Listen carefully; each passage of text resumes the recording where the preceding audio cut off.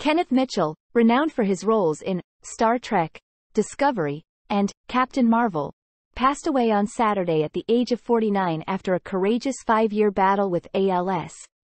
The news was confirmed by Mitchell's family in a statement expressing their profound sorrow at the loss of a beloved father, husband, brother, uncle, son, and dear friend.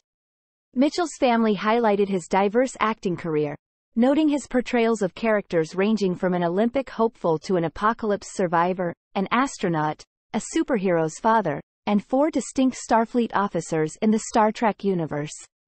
They acknowledged his significant contributions to the entertainment industry, where he left an indelible mark with his talent and versatility. However, the family emphasized that Mitchell's most cherished role was that of a family man. As a dedicated husband to his wife, Susan, and a loving father to their two children, Lilah and Kallum, Mitchell found immense joy and fulfillment. Despite facing the challenges of ALS, he remained committed to being a positive and playful force in the lives of his children, showcasing his unwavering dedication to family. Diagnosed with ALS in 2018, Mitchell publicly shared his health struggles in 2020.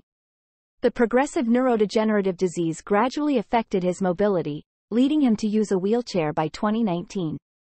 Despite the hardships, Mitchell and his wife confronted the unknowns and challenges together, finding strength in their shared journey. Fans of Star Trek are mourning the loss of Mitchell, who made a significant impact on the franchise with his portrayals of Klingon characters in Star Trek Discovery and his contributions to Star Trek Lower Decks as a voice actor. The Star Trek community expressed condolences to Mitchell's family, friends, and fans worldwide, acknowledging the loss of a talented and beloved member of the Star Trek family.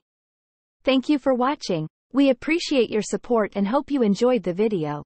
Don't forget to subscribe to our channel to stay updated with new content.